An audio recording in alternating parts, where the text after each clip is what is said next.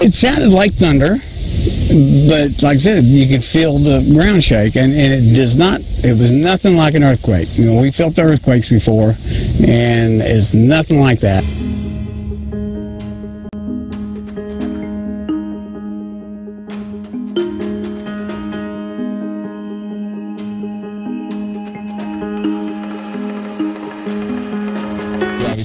Dispatch cars. I believe EFD dispatched some fire people. I'm, I'm sure EPD dispatched people to the area. Um, at the end of the day, we've not been able to find anything. Crews scoured the area but didn't find anything. Um, it, it had to be something uh, a little bit uh, different than the typical explosion. But what? It wasn't an earthquake. The USGS doesn't have reports of any activity in our area. Some people have suggested a nearby mine was firing off explosion. But when we called Vigo, which is opening a mine near Boonville, they said their permit does not allow them to blast from dusk till dawn. And the Air Force says it wasn't performing any military drills either. Authorities say, at least for now, it will remain a mystery.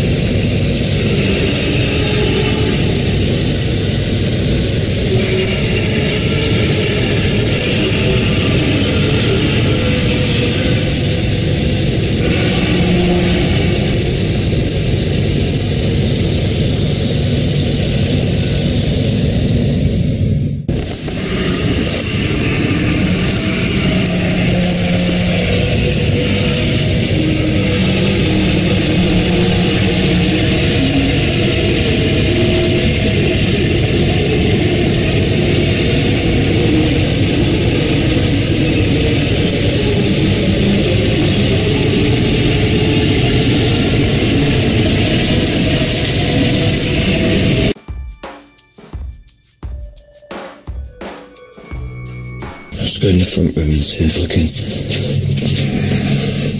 See if you can hear it better in here.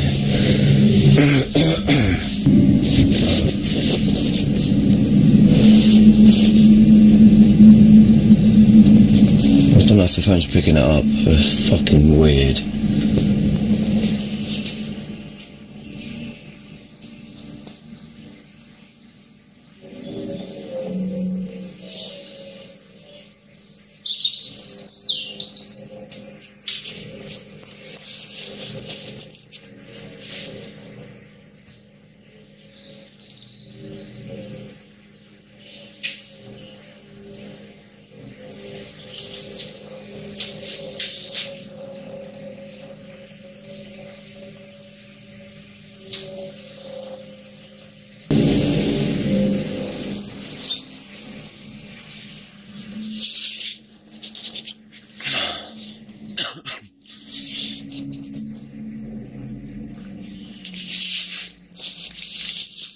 There's a weird glow to the west as well. What the fuck is that?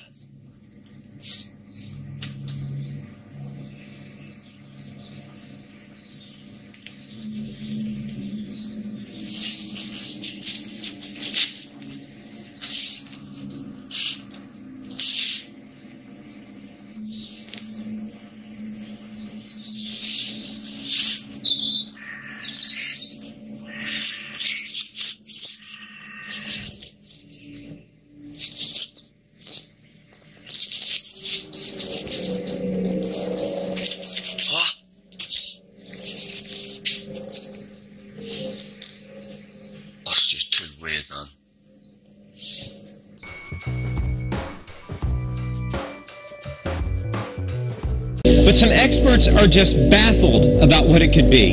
I'm calling because we're hearing continuous sounds like explosions. We're hearing loud explosions. My house is shaking. The horses are freaking out. Uh, does anybody know what's going on? It sounded like thunder, but like I said, you could feel the ground shake, and, and it does not. It was nothing like an earthquake. You know, we felt earthquakes before, and it's nothing like that. You definitely knew it wasn't a firework going off because I've never heard anything like it. Like, very disturbing.